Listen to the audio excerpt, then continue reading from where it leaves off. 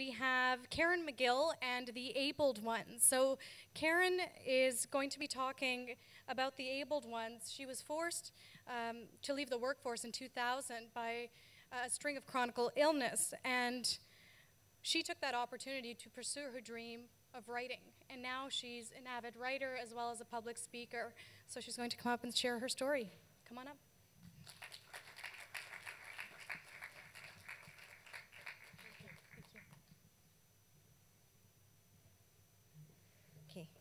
Next slide, please.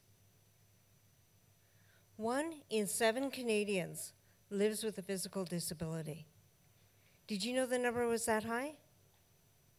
I didn't, but it shouldn't be surprising because many of us live with invisible disabilities. Next slide. My story starts on June 5th, 2000. My alarm sounds, and I roll over to turn it off but my left arm didn't move.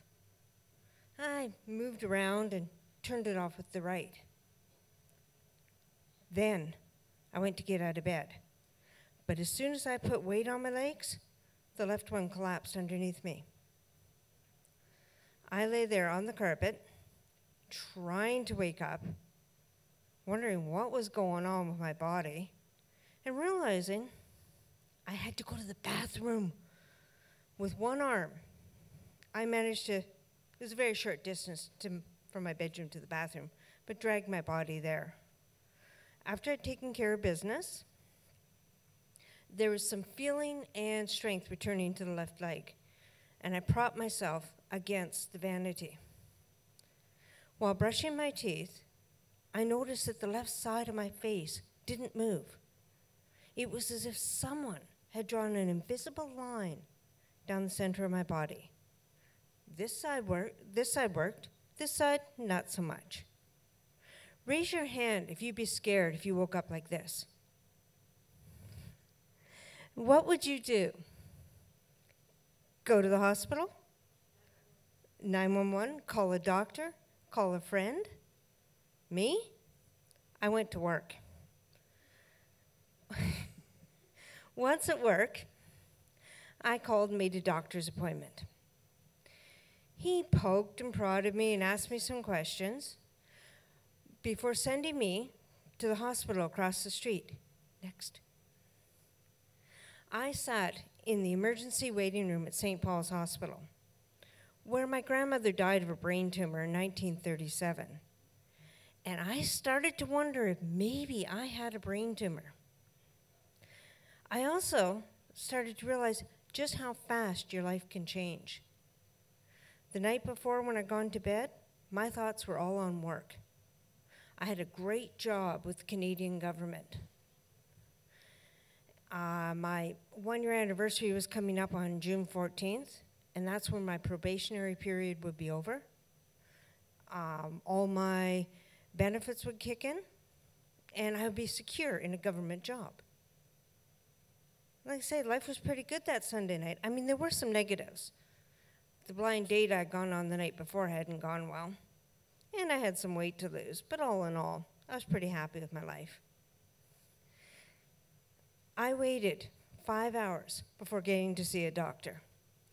The emergency room doctor examined me, told me he didn't think I had a brain tumor, nor did he think I'd had a stroke. He didn't know what was going on. He leaves, and then he's replaced by a neurology intern who poked and prodded me and asked me some questions before disappearing. By this time, I was fed up. I didn't care anymore. Okay, that's a lie, because I did care what was happening. But I wanted to go home. I was tired. I was hungry. I wanted a cigarette. Finally, after seven and a half hours, I got to go without any answers. Two days later, I went to see a neurologist. He pokes and prods me and asks me some questions. I tried to be a good patient, I really did. But I was finally starting to get scared. My mother had come to the appointment with me. And when we left, I turned to her and I said, Mom, I'm afraid that one night I'm going to go to sleep and not wake up. She took my hand in hers and she said, Then you call me every morning, so you have to wake up. I got a pretty great mom, don't I? I really wanted to know what was going on with me, but it was more than that. Next. In 1984, I went horseback riding, and the horse had a heart attack and fell on me, cracking my skull. Ever since then, I'd had strange things going on with my body sudden numbness in my limbs, unexplained pains. I go to doctors to get it checked out, but they'd never find anything and tell me it was all in my mind. But you see, I knew it wasn't. I knew this was real.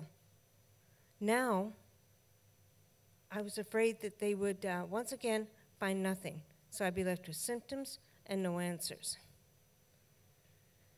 On June 14th, after an MRI, the neurologist calls me in, looks at me, and says, multiple sclerosis. This was good news. I mean, at least at first, I finally had an answer to what was going on with me. Finally had a name I could put to it. As my late father said, the devil you know is the one, the devil you know is better than the one you don't. Next. One of the first things I can remember thinking and don't ask me why, is that I'll never again be able to climb that 2.9 kilometer hike up the side of Grouse Mountain, known as the Grouse Grind. That was quickly replaced with, thank God I don't have to climb the grind again. Diagnosis in hand, I thought I'd take some time off work, then go back to my usual schedule, everything would be fine. Yeah, I was wrong. Have you ever heard that saying, man plans, God laughs? That's what was happening here. I took five weeks off work and went back to my old schedule. Unfortunately, I couldn't handle it. Multiple sclerosis is an autoimmune disease in which the immune system attacks itself. And what it attacks is the myelin sheath covering your nerves it leaves little patches of scarring tissue. And that's why people have problems with their mobility and their speech and eyesight is because the message from the brain isn't getting to whatever, to the limbs or wherever. One of the main problems with MS is chronic fatigue. And I was exhausted all the time. But I couldn't afford to work part time because if I had to go on disability, they would base it on my part time hours. And I needed my wage replacement to be on my full time hours. At the end of September, I went to the UBC clinic, or the MS clinic at UBC, and there the doctors and I decided that it would be better off if I went on disability. I was devastated MS took the best job I'd ever had away from me. A job it took me a year and a half to get. I was 35 years old, and I thought that my life was over. All I could see was me sitting alone in a one bedroom apartment, watching television, and just existing. Maybe surrounded by a bunch of cats. The next few months, next, were a struggle for me. I was constantly fighting with the insurance companies to get the money that I deserved. Plus, I was trying to adjust to my new life, my new existence. And top that off with the stress caused me to have more symptoms, things like leg tremors, pain, numbness, trouble swallowing, the list goes on. It seemed that every day something new was happening. There were nights that I actually prayed I wouldn't wake up the next morning. But all things, good and bad, come to an end.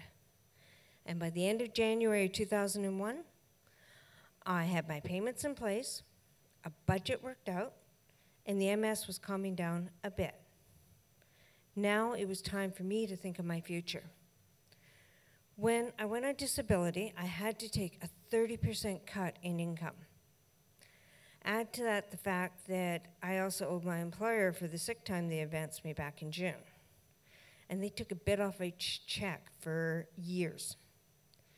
2002, I filed for bankruptcy, and my life was a series of emotions, ups and downs, and symptoms for a few years there. But I was getting the rest I needed, and I was adjusting. I was also at a critical juncture in my life. Now, I could choose to give up, to focus on every ache, pain, and symptom, to curse the medical field for not finding a cure, or I could realize what a gift I've been given. Does anyone know what that gift is? It was the chance to start over. I have a chance to recreate myself, to maybe accomplish some dreams. Next. All my life, I've always dreamed of being a published author. Now I have five books published. My first book, The Bond, a Paranormal Love Story, has been translated into Turkish. It's won an award, and it's being adapted to film. I have a budding career as a motivational speaker and a life coach. And last year, I got an email from someone in the Rick Hansen Foundation asking me to be part of the Rick Hansen Ambassador Program. And Rick Hansen himself is the one who suggested me. Now, this is not my pre MS life. This is way better. And I'm not going to try to sound modest here, but I haven't done anything that anyone else can't do. Just because you become disabled does not mean that you lose your dreams. They just may have to change a bit. Don't you agree? Unfortunately, not everyone thinks so. One night, I got into a discussion with somebody on Facebook. Next. Actually, it was more like a heated argument. Our fingers were flying across those keyboards. We were discussing whether someone with a lower income can improve their lives simply by changing their spending habits. Now, she first accused me of poor shaming. And then this person, who I'll call Gertrude, said something that really shocked me. She said that those with a disability, can, either mental or physical, can't improve their lives. And then I started to think is that the way society sees us? Apparently so.